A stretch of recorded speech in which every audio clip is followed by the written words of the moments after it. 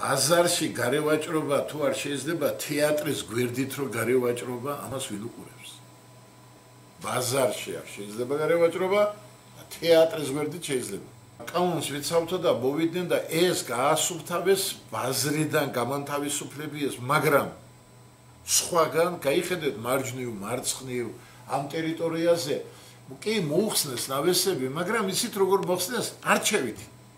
ის ნიმის ნათესავია, ის იმის მეზობელია, ეს იმის ისა და ეს ვინ ზედამხედველობს სამსახურს? ო, არ ვიცი ახლა სამსახურის მე მე არ ვიცი ეს ვინ უნდა გააკეთო. როგორ არა ზედამხედველობა, ზედამხედველობას რასაც ეტყვიან იმას აკეთებს.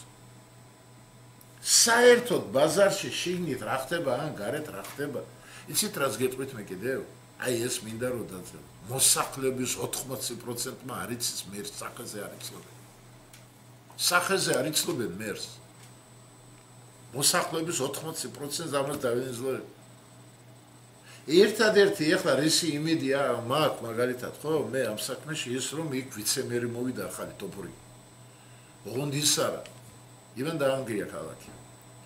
ერთადერთი იმის იმე საღად მოაზროვნეს მე ორჯერ მქონდა შეხვედრა ამასთან და ერთადერთი ის არის იქ საღად მოაზროვნე ის ის თუ არ გააჩერეს. არა ფოთელმა მერმა მეტი გააკეთა ფოთში ვიდრე ფოთელმა მერებმა. ამაში მე მგონი ფოთელების დამირწმუნებია.